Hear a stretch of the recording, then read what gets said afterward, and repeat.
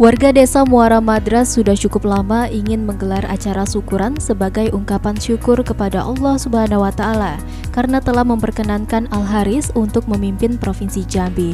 Namun karena kesibukan Al Haris, baru 14 November acara syukuran tersebut dapat dilaksanakan saat Al Haris pulang ke kampung halaman istri tercinta Hesni Dar Haris di Desa Muara Madras, Kecamatan Jangkat.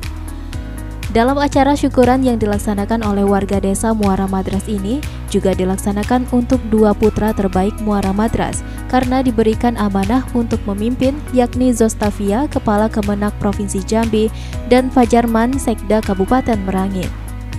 Gubernur Jambi Al-Haris mengatakan acara ini sebagai ungkapan syukur warga dan merupakan pemicu kami dalam menjalankan amanah yang dipercayakan.